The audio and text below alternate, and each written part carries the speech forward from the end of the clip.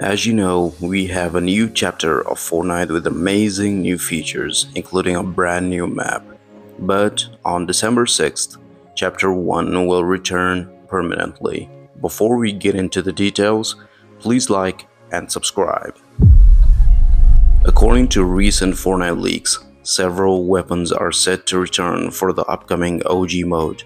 This news comes from Hypex, a trusted leaker known for accurate information over the years. While this feels more like confirmation than a leak, Epic Games has not officially commented on the loot pool yet.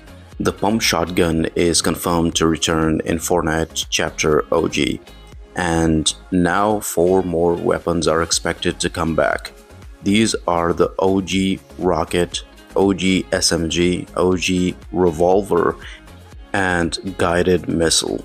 It's not yet clear if the weapon will only be available in Fortnite OG Chapter 1 Season 1 or stay in the loot pool throughout the OG timeline.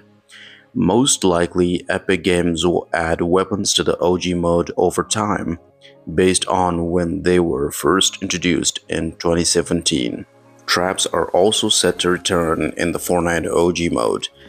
So far, leaks only confirm the wall dynamo trap, but more could be added later. With the many traps that were part of Battle Royale and are still available in Fortnite Save the World, Epic Games has plenty of options to bring back.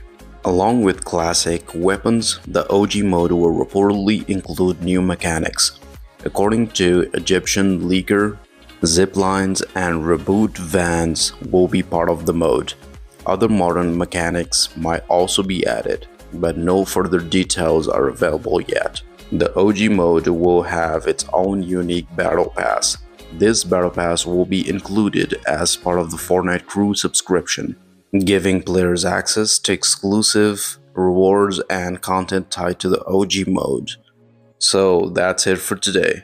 Don't forget to subscribe, and I'll see you soon.